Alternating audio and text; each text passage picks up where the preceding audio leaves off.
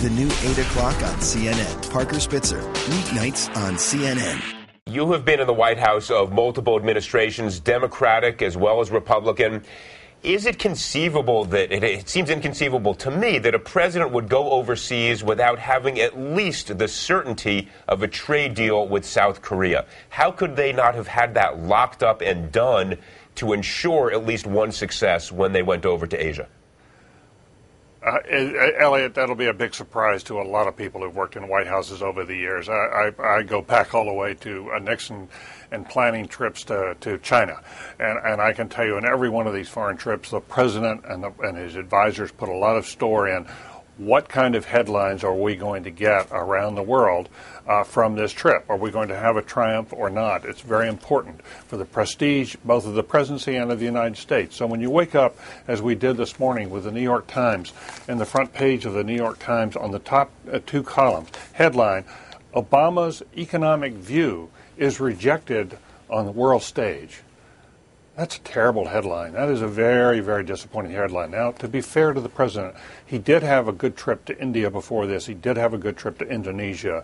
Uh, but this was a really bad day for him uh, because these were, as you say, you know, basically he went into this trip to South Korea wanting a trade deal with South Koreans and saying we would he would have it by this time, and it fell through because they resisted his demands. He wanted a deal from the Chinese on currency manipulation. They rejected that.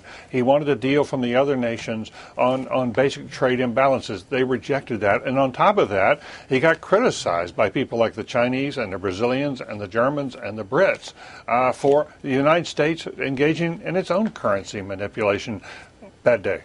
But David, um, with with hindsight, it looks clear that the president made a strategic mistake going making this trip right after the elections, and then, of course, without any sort of real assurances that he could accomplish what his mission was. But he couldn't really uh, cancel another trip to Indonesia, could he? He's already canceled twice. Don't you think that would have been a huge mistake? Well, Kathleen, I, I, I, think a couple of things. Uh, one is, no, I don't think he could cancel Indonesia. I do think he could have put the trip off for a few days uh, in order to, uh, you know, frankly, I think he, what he wanted to do back here in the United States was to, to frame the election in a way that strengthens his hand as much as possible, you know, and, and damage control.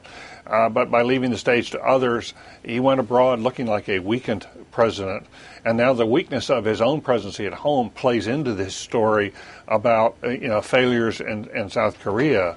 And, and you get this sort of uh, narrative that's built up. He's weak at home and abroad, and that's exactly what you don't want a president to do. And, and, and David, it seems to me that had the message been sent to the South Koreans, the president is not coming unless he has a treaty.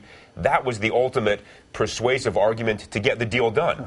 And so that's what they should have said to well, the South Koreans. This is not just about President Obama uh, and, and what may have been mishandling or misplanning this trip. I think that what was more fundamental here is a growing sense uh, that America itself, uh, especially in, in relationship to others in the world, is no longer the leader that it once was. Well, and unfortunately, you know, he went over to Asia with a, with diminished stature, and now he's coming back here with yet another sort of a double whammy.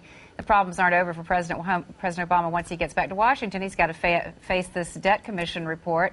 Can he can he lead? I mean, is he going to be able to lead a bipartisan commission and convince Americans that they've got to make all these sacrifices uh, in order to uh, not only put our economy back on track, but to regain uh, our stature in the world?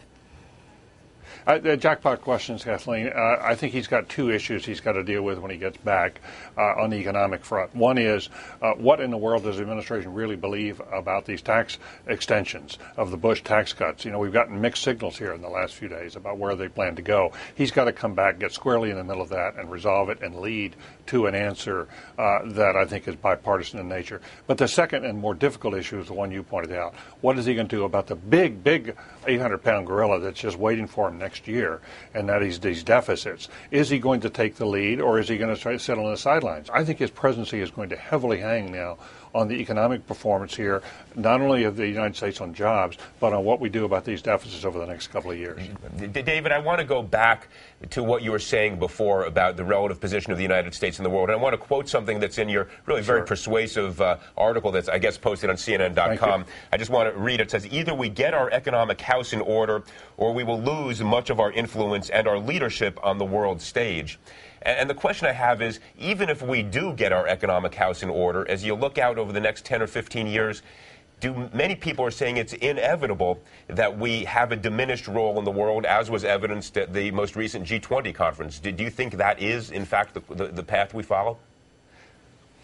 I think it's inevitable, uh, Elliot, that uh, more players will be at the table of power over the next 20 years. That that China, and India, Brazil, and others are going to be at that table. Uh, the question remains: Is the United States still at the table, and where do we sit? You know, are we just one more player, or are we at the head of the table helping to shape things? And and I think you and I would agree. I'm sure Kathleen would that it makes a big difference where the United States sits at that table and whether we, in fact, have a respected place at that table.